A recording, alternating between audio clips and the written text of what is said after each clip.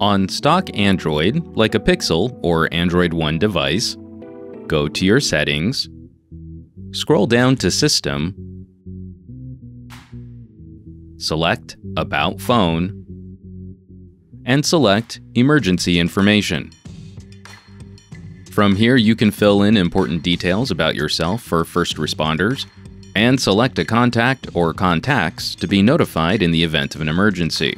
It's important to remember these contacts can be called from your lock screen, and this is one of the few actions that can bypass your security settings. Not all Android devices organize their settings the same way, though. For example, OnePlus smartphones are very similar to stock Android, but selecting About Phone in your settings brings up a completely different kind of menu screen. In this situation, it's easiest to go back to your main phone settings, look for some kind of search, and in that search input field, start typing emergency you'll likely find a search result for emergency contact or emergency information. Tapping on one of those search results will bring you to the same menu fields as we saw on stock Android.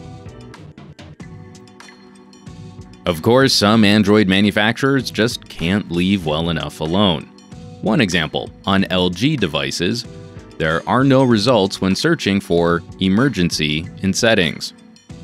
Often, when this field is removed from the phone settings, it can be found in your Contacts app. You may need to hunt through some of the specific options on your phone. Your mileage will vary.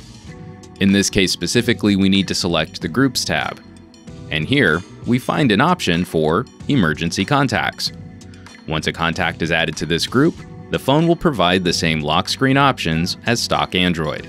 Since every Android phone is a little different, you'll likely need to dig through some settings or menus, but the option is probably there somewhere. I hope that helped you find where to set up an emergency contact on your phone, and I'll catch you all on the next tutorial.